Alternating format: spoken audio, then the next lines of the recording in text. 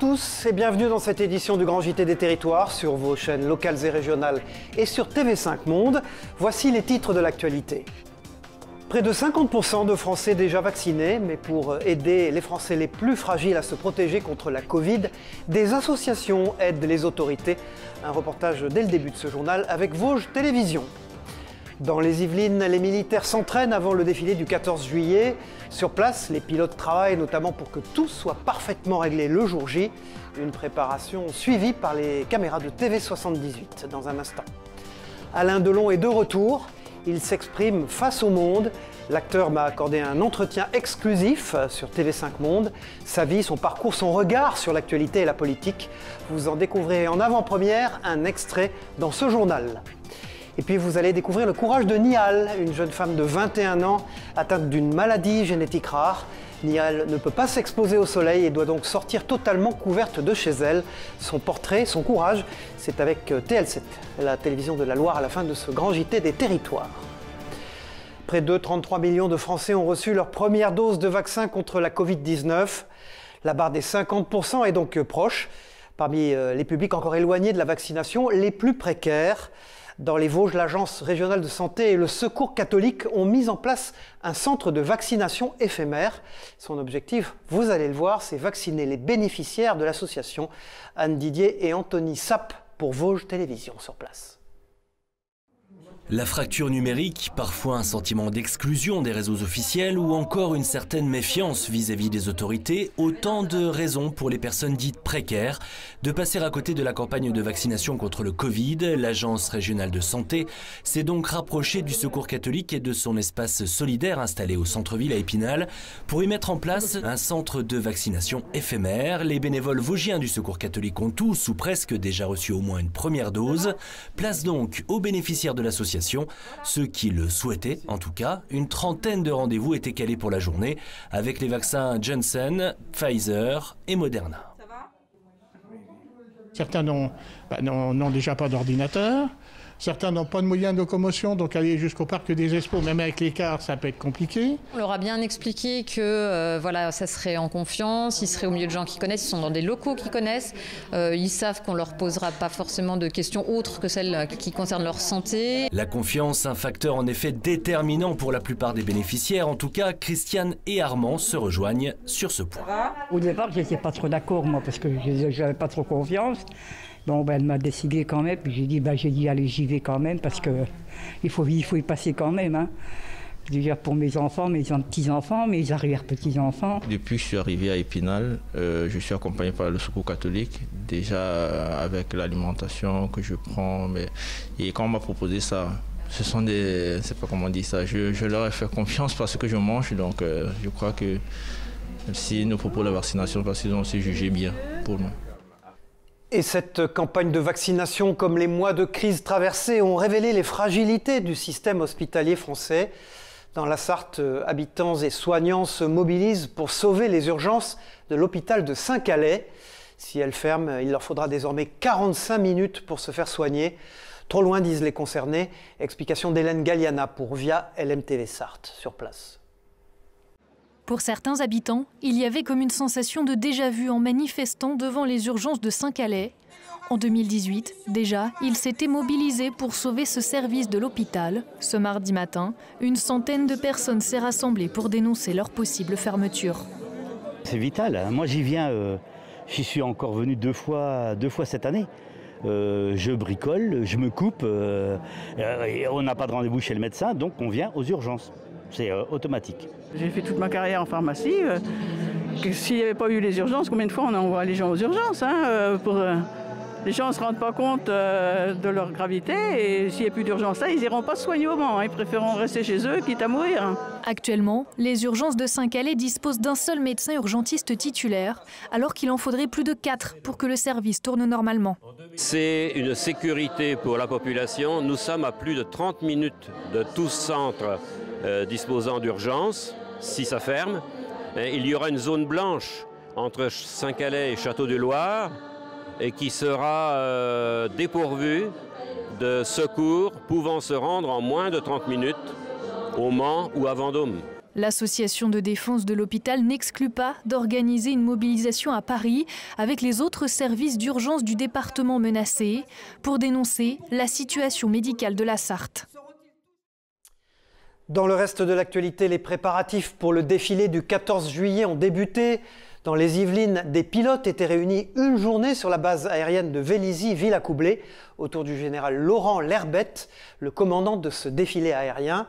Ils s'entraînent en vue du jour J. Gagner l'avenir, c'est le thème de cette édition 2021. Nicolas Dandry de la rédaction de TV78, lui, a gagné le droit d'assister à une partie de la préparation. Regardez. Il a lieu chaque année mais se prépare bien en amont de manière minutieuse et rigoureuse. Le défilé aérien du 14 juillet rassemble 91 appareils hélicoptères, avions, chasseurs, différents aéronefs de l'armée de l'air, de la marine nationale, de la gendarmerie ou encore de la sécurité civile, avec une organisation particulière. Le défilé, qui est constitué d'un ensemble de patrouilles qui vont attendre dans l'ouest parisien euh, qu'on leur donne le top départ, eh euh, se rejoignent petit à petit sur un axe qui est l'axe de défilé. Et c'est bien par le respect des altitudes, le respect des vitesses, le respect des trajectoires, le respect des horaires, le respect des procédures radio que la sécurité aérienne est garantie. Pour cette journée à la base aérienne 107 de Vélizy-Villacoublay, tous les pilotes chefs de bloc sont réunis. C'est le cas du sous-lieutenant Aurélien, navigateur au sein d'un AWAC, un avion de l'armée de l'air doté d'un radar. Charge à chacun dans son avion et dans son, équipe d'avions leader plus équipiers de préparer la mission au mieux en traçant des cartes, en préparant, en visualisant sa mission avant. Et ensuite pour être au rendez-vous aux répétitions générales et le 14 juillet à l'heure. On est là vraiment pour assister les pilotes et qu'eux puissent se concentrer euh, exclusivement euh, à, la à la manœuvrabilité de l'avion. Après le briefing du matin, les pilotes ont pu faire des repérages à bord de différents hélicoptères, des points d'identification de la défense à la place de la Concorde pour faciliter le défilé Pilote d'un Mirage 2000D, le commandant Nicolas sera suivi de 5 Mirage 2000D et de 6 Rafales. Les premiers repères qu'on essaie d'identifier sont euh, des, repères avec des développements verticaux qui nous permettront en cas de mauvaise météo euh, ben, de pouvoir nous affranchir d'une visibilité médiocre ou faible, donc jusqu'à 5 km de, de visibilité horizontale, pour pouvoir nous aligner sur la défense et ensuite être axé parfaitement. Une répétition générale du défilé aérien doit avoir lieu fin juin dans le Loiret. Nous vous en parlions la semaine dernière dans le Grand JT des Territoires. Alain Delon est de retour dans les médias. L'acteur, victime d'un AVC il y a deux ans, m'a accordé un long entretien pour TV5 Monde, depuis chez lui à Douchy, dans le Loiret. Un entretien qui sera diffusé d'ailleurs le 1er juillet à 21h sur l'ensemble des antennes de TV5 Monde et durant lequel l'acteur, véritable star mondial, reviendra sur ses souvenirs de carrière, s'exprimera sur l'actualité, sur sa vie privée aussi et son désir de revenir au cinéma. Regardez à ce propos cet extrait exclusif pour vous. Vous disiez que vous avez encore des envies. La première envie d'Alain Delon, quand on pourra bah, euh, dire que le coronavirus n'est plus là, ça sera quoi? Aller faire une bonne bouffe quelque part Non, faire un film. Là on, là, on reconnaît Alain Delon quand même. Faire un film et surtout pas faire un film, mais faire son dernier film. Ça sera le dernier? C'est pas impossible, celui qui restera pour toujours. Donc il devra être exceptionnel. Il devra être exceptionnel, mise en scène par un metteur exceptionnel. Et Alain Delon dedans, devra être lui aussi exceptionnel. Ça ne fait pas de soucis pour ça. Un peu comme aujourd'hui. Oui. Sans transition maintenant dans la Somme, les équipes techniques du département sont en pleine opération de faucardage sur le fleuve. L'objectif, c'est lutter contre le myriophile hétérophile, qui est une plante aquatique exotique qui prolifère dans les canaux de la Somme et qui devient un véritable fléau pour l'activité fluviale et pour la pêche aussi. Regardez ce reportage de Jérémy Houbron pour WEO, la chaîne de la Voix du Nord sur place. Il est devenu l'ennemi public numéro 1 dans les canaux de la Somme. C'est le myriophile. Et pour lutter contre la prolifération de cette plante aquatique, rien de tel qu'un bon coup de faucardeur. C'est comme une, cisaille, euh, voilà, comme une barre de coupe de, moissonneuse-batteuse, en fait, qui vient euh, couper, euh, qui vient couper l'herbe. Ensuite, j'ai mes collègues qui sont à l'aval de, où je, suis en train de, couper, quoi. Et ils ont un bateau ramasseur, donc qui se, qui se servent pour mettre en berge, qui est ensuite évacué en camion. Le myriophile hétérophile envahit la Somme depuis 2014 et peut pousser de 30 cm par semaine, si bien qu'il devient un fléau pour les activités nautiques. Automatiquement, la navigation devient impossible, toutes les activités nautiques deviennent impossibles. Euh, l'aviron, euh, le canoë, euh, la pêche devient également impossible. imaginez, vous pêchez dans un bassin rempli rempli en fait, hein, rempli d'algues. C'est particulièrement difficile. En 7 ans, 1 500 000 euros ont été investis dans cette opération. Une somme nécessaire pour préserver les activités nautiques, mais également les écosystèmes du fleuve, selon la Fédération pour la pêche. On peut voir euh, la, densité de cette plante est vraiment euh, très importante, et donc euh, voilà, de ce surdéveloppement, ça va prendre la place de, des espèces qu'on va avoir nous localement, et donc on, va avoir on risque d'avoir la disparition des plantes aquatiques inféodées à nos milieux initiaux. 63 hectares seront cette année traités. D'ici la fin de l'été, les férus de poissons pourront retrouver les joies de la pêche. Dégustation ou restauration La question fait débat sur le bassin d'Arcachon où l'activité des cabanes à huîtres est soumise depuis quelques mois à une nouvelle réglementation. Désormais, la dégustation des huîtres doit représenter plus de 50% du chiffre d'affaires des cabanes. À cela s'ajoutent de nouvelles règles quant à l'élevage des huîtres. Trop de contraintes, décidément, après des mois de fermeture pour certains ostréiculteurs. Ils ont donc décidé d'attaquer cette nouvelle réglementation devant le tribunal administratif de Bordeaux. Écoutez à ce propos Olivier Laban, le président du syndicat des ostréiculteurs dégustateurs, au micro de nos confrères de TV7, la chaîne du groupe Sud-Ouest. Quand vous rentrez dans une dégustation, si ce sont des huîtres à destination de la vente directe, elles sont soumises à aucune règle. Si ce sont des huîtres à destination de, la dégustation sur place, il faut obligatoirement qu'elles soient retrempées six semaines. Bon, enfin, pour nous, les producteurs que nous sommes, on essaie d'être le plus possible euh, pragmatique et concret et cohérent. On trouve ça un peu euh, vraiment tiré par les cheveux. Le tribunal administratif de Bordeaux se prononcera donc dans le courant du mois de juillet en faveur ou non des ostréiculteurs du bassin d'Arcachon. Des huîtres, toujours, que l'on aime déguster évidemment avec un verre de vin blanc. Euh, et du vin, il en est largement question dans le nouveau magazine lancé ce mois-ci par le groupe Reward Media qui s'appelle Tanin un trimestriel qui veut combiner bien vivre, convivialité et savoir sur le vin justement. Pour en parler, nous sommes en duplex avec sa rédactrice en chef, Gabrielle Visavona. Bonjour. Bonjour Cyril, merci beaucoup de me recevoir. Gabrielle Visavona, pouvez-vous nous présenter le positionnement éditorial de ce nouveau magazine? En quoi se distingue-t-il des magazines déjà existants dans l'univers des vins et des spiritueux qui sont nombreux? On a décidé de partir à 360 degrés de ce qui peut exister aujourd'hui dans l'univers des vins et des spiritueux. Il y a une poignée de revues effectivement en France, mais elles sont surtout dédiées à un public de professionnels. C'est plutôt des revues B2B, donc avec tout ce que ça implique derrière, un vocabulaire compliqué, euh, euh, des dégustations de vins qui sont exhaustives sur les régions. Avec Tanin, que je vous montre ici, c'est très joyeux, coloré déjà dans sa forme, hein, c'est très différent. Et ensuite, dans le fond, on a voulu se recentrer sur le plaisir, euh, sur le divertissement. On veut vous raconter le vin aussi à travers des histoires de femmes et d'hommes qui le font. Euh, bien évidemment, on vous offre nos conseils hein, euh, de, nos sélections de vins. On a une belle équipe de dégustateurs. Et le but, c'est pas de vous faire, de vous imposer notre goût, mais justement de vous faire comprendre par des mots simples et justes et une approche métaphorique du vin comment il goûte finalement et vous donner envie de, de les goûter et de les déguster avec nous. Alors que trouve-t-on tout au long de ces 130 pages de ce premier numéro? Tana est un trimestriel, donc là il va accompagner les mois de juin, juillet et août, et donc on a voulu faire un dossier spécial sur ce vin qui, est souvent un petit peu décrié, qui est, le rosé. On entend souvent dire oui, le rosé, c'est pas vraiment du vin, on peut mettre des glaçons dedans, etc.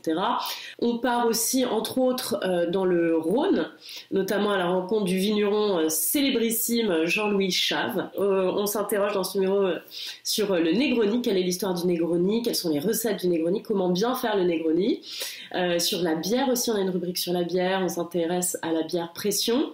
Euh, aux spiritueux aussi un petit peu. Et puis on est aussi parti déjeuner avec Laurent Gérard. Laurent Gérard qui est dont le spectacle qui va bientôt sortir s'appelle Sans modération. Donc c'était ça tombait à point nommé, qui est un grand connaisseur de vin et qui est aussi associé dans plusieurs euh, domaines. Tanin, c'est un magazine qui fait du bien à l'heure de l'été et après tant de mois passés confinés et contraints dans nos libertés. C'était ça le but?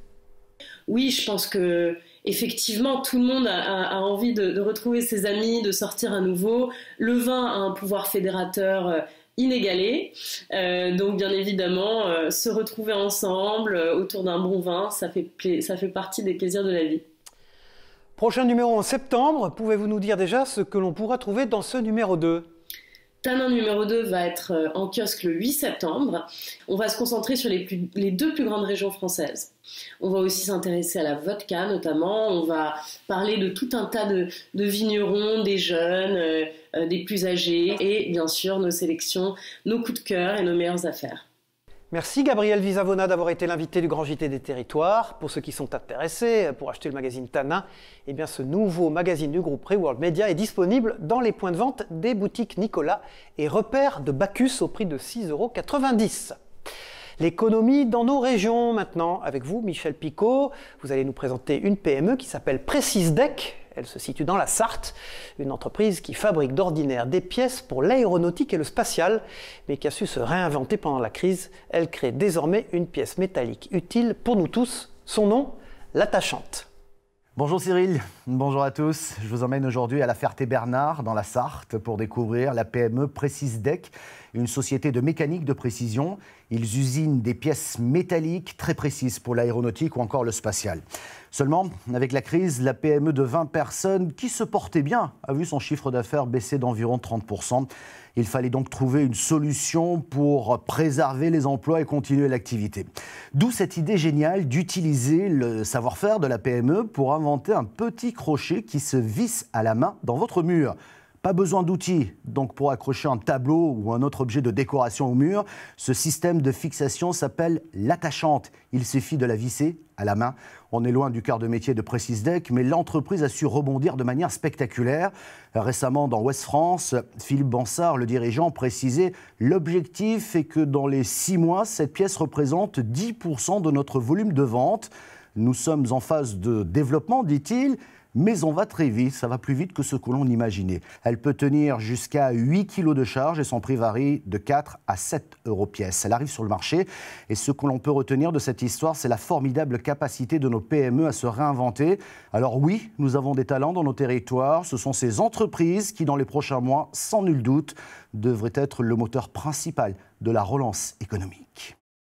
Merci Michel Picot, on se retrouve dans une prochaine édition du Grand JT des territoires. On pensait son temps révolu, mais elle revient en force, la consigne. En Bretagne, à Rennes précisément, une entreprise s'est lancée sur le marché et propose notamment des plats en verre pour les restaurateurs et la vente à emporter. Rennes emboîte le pas, c'est le nom de l'entreprise, répond ainsi à une demande galopante. C'est un reportage de Philippe Bertou pour la chaîne locale TVR, à Rennes. À Rennes, ce matin, rue Nantaise, Tristan vient livrer de nouvelles boîtes. Le Show Shop Cafette est l'un des premiers restaurants à avoir répondu à l'appel de Rennes en boîte le plat en octobre 2020. On met à disposition des commerçants des boîtes en verre que eux peuvent proposer à leurs clients contre une consigne de 3 euros euh, pour leur euh, commande à emporter. Et ensuite, cette boîte, les clients peuvent les rapporter dans n'importe quel commerce qui fait partie du réseau, soit pour se faire resservir, soit pour récupérer leur consigne. Et pour ce restaurant, le service correspond à une demande du client. Euh, les clients adorent euh, l'initiative, ils sont vraiment euh, intéressés par le projet. pour eux, ça va vraiment dans le cadre de, tout ce qui est réutilisation, d'être un peu plus écolo. Même démarche pour la Clara, établissement du haut de la place de la mairie. Là aussi, c'est le client qui pousse au changement. C'est vrai qu'on a eu une demande des clients qui connaissaient aussi en boîte le plat. Et euh, c'est vrai qu'on les avait sollicités et on a relancé la machine en disant que nous, nos clients avaient cette demande. Et depuis hier, d'ailleurs, on a deux, sociétés qui viennent régulièrement euh, manger chez nous, qui nous ont demandé en fait de n'utiliser que ces boîtes-là pour eux et pour leurs salariés. Ainsi, les boîtes peuvent s'utiliser et s'échanger dans les 25 restaurants de Rennes et Cesson-Sévigné qui ont dit oui au concept. Il leur en coûte 20 euros par mois d'abonnement. Un coup de projecteur à présent dans ce grand JT des territoires sur des actions solidaires d'un chef, son nom Bruno Serrato. Exilé aux États-Unis, ce Français lutte contre la pauvreté et la faim grâce à la distribution de repas. En plus de 15 ans d'action avec son association, il a déjà servi des millions de repas, notamment aux plus jeunes, vous allez le voir. En déplacement à Monaco, où il a pu s'entretenir avec l'archevêque de la principauté, Bruno Serrato s'est aussi confié à la rédaction de Monaco Info sur son action de l'autre côté de l'Atlantique. Écoutez. Il y a beaucoup de gens qui aiment bien faire du bien, mais ils ne savent pas comment le faire. Mais avec moi, quand je fais des, vidéos, des photos, je fais voir aux gens ce qu'on fait. Je parle avec les discours que je fais dans le monde et j'explique exactement comment ça a commencé, où on est arrivé aujourd'hui. De devoir servir 6 millions de repas à des enfants qui ont besoin, c'est un gros numéro. Et je dis toujours aux gens, ne commencez pas avec un million, j'ai commencé avec un enfant, une paste dans un pays, dans un club. Maintenant, on est dans 30 villes et 90 locations. C'est une maladie rare et méconnue. Nial, 21 ans, est surnommée l'enfant lune. Atteinte d'une maladie génétique qui l'empêche de s'exposer aux UV, elle est obligée de se protéger du soleil avec un casque et des vêtements spéciaux. Tout son quotidien est évidemment impacté par cette maladie qui ne concerne que quelques dizaines d'enfants en France. Nial est la seule enfant lune du département de la Loire. Adrien Blétry de la chaîne TL7 a passé l'après-midi avec elle. Regardez. Ça y est, Nihal est équipé pour sortir dehors, des gants anti-UV, un haut manche longue imperméable aux rayons et un casque dernière génération. Avant, j'avais un masque assez euh, qui recouvrait vraiment tout mon visage. Là, au moins, euh, on peut voir ma petite, euh, ma, petite tête. Et du coup, il est équipé d'un ventilateur parce que sinon, j'arrive pas à respirer à l'intérieur, j'étouffe. Et, je le branche à une batterie externe du coup, voilà, je l'allume comme ça. Direction les courses pour Nihal. À chaque fois, elle se rend dans le même centre commercial, toujours muni de son appareil de mesure. Là, il a zéro. Du coup, je peux l'enlever.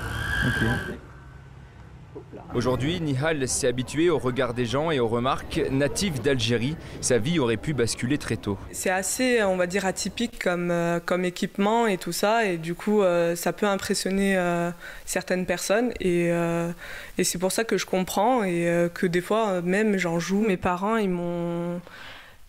Ont, ils ont tout quitté, ils ont tout lâché, ils ont, ils ont refait leur vie ici pour moi. Et j'ai eu l'occasion de voilà, d'avoir, on va dire, les soins nécessaires et tout ça. Il n'y a pas de traitement encore pour cette maladie en France. Il y a une centaine d'enfants lunes qui chaque jour affrontent le soleil pour vivre pleinement leur vie. Sans transition, en Martinique, à l'occasion du 60e anniversaire du régiment du service militaire adapté, les recrues se sont lancées dans la rénovation du refuge dit du Chinois sur la montagne Pelée. Tous les mardis et les jeudis, ces jeunes font l'ascension du volcan avec plusieurs dizaines de kilos de matériel sur le dos. Un défi à relever en équipe et en se montrant solidaire. Reportage de Tom Gagnou pour la chaîne Via ATV sur place, Martinique. 5h30 au pied de la montagne Pelée. Tu arrives en haut, soit tu le dis au SAN, sinon tu appelles sur un de ses numéros. Dernière consigne pour les jeunes stagiaires du RSMA avant l'ascension, il faut récupérer les sacs et les préparer. À l'intérieur, une charge de 15 kg de pierre. Près d'une heure de marche à flanc de falaise attend ses volontaires. C'est quand même assez difficile euh, sur le début. Après, on reprend un petit rythme et ça va un peu mieux. Et puis, euh, moi, comme c'est la première fois, l'avantage, c'est que je ne sais pas où se trouve l'arrivée. Donc voilà, j'arrive pas trop à me situer, donc euh, j'avance. Donc pour l'instant, ça va. C'est la partie qu'on vient de franchir là qui est un peu euh, raide, hein. mais sinon le reste, euh, ça va. Et après plusieurs minutes de marche, les premières douleurs apparaissent. ça va, mais les jambes qui prennent. Dans cette opération, l'entraide entre les recrues est primordiale, car c'est aussi l'objectif de la matinée, mettre l'accent sur les valeurs collectives. Il n'y a pas de notion de vitesse sur cette montée. L'important, c'est que l'ensemble arrive en haut. Donc l'entraide, donc apprendre de, de soi-même et apprendre de la force du groupe. Ils sont près de 150 membres du RSMA à participer à cette opération. En tout, 10 tonnes de pierres vont être amenées au sommet, une étape essentielle pour la réhabilitation du refuge. Deux phases vont être nécessaires. La première, celle de l'assainissement. Et donc c'est ce qui nous amène aujourd'hui. Les cadres et volontaires du régiment, 150 par jour, montent environ 15 kg dans leur sac à dos de, de, pierre pour permettre euh, le, justement le drainage autour du site. Le groupe arrive au refuge, les corps peuvent enfin se reposer, la satisfaction est sur tous les visages. Oui, je suis contente, mon chef de section m'a beaucoup aidé, mon chef de filière aussi. C'est quelque chose à faire, hein. franchement, c'est quelque chose qu'on fait une seule fois dans sa vie, donc euh, autant en profiter et se donner à fond. Pas de temps à perdre, tous les sacs de pierre sont vidés, les stagiaires rentrent à la caserne, la même journée les attend jeudi prochain. On referme ce grand JT des territoires avec du football, en pleine compétition de l'Euro, à quelques jours du huitième de finale de l'équipe de France contre la Suisse. Les plus petits jouent aussi au ballon rond. En Corse se tenait il y a quelques jours l'étape locale de la Champions Cup. Cette compétition qui a pour objectif de mettre en avant le football amateur rassemble des futurs champions âgés de 10 à 12 ans. Sébastien Piocel est le coordinateur de la Champions Cup. Écoutez-le au micro d'Ange et de Clara Serrano de Via Télépaésé sur place. Il y a six étapes, donc on a commencé à Lyon mercredi dernier, on est en Corse aujourd'hui, on sera mercredi prochain à Mérignac pour l'édition de Bordeaux. Ensuite on ira au Sable d'Olonne pour le Grand Ouest, Paris et Marseille pour finir ensuite la grande finale le 7 juillet au Stade Vélodrome. Il y a un vainqueur par étape, sachant que les quatre grosses étapes, euh, Bordeaux, Paris, Lyon, Marseille, il y a 48 clubs, donc c'est deux tournois de 24, il y en a deux, ce qui fait qu'il y aura 10 finalistes euh, garçons euh, le 7 juillet. Le rendez-vous est donc pris à Marseille le 7 juillet pour la finale de la Champions Cup, soit 4 jours avant la finale de l'Euro, où nous espérons bien sûr retrouver l'équipe de France. Voilà, c'est la fin de ce grand JT des territoires. Merci de l'avoir suivi sur vos chaînes locales et régionales et sur TV5 Monde. On se retrouve pour une prochaine édition. A très vite. Au revoir.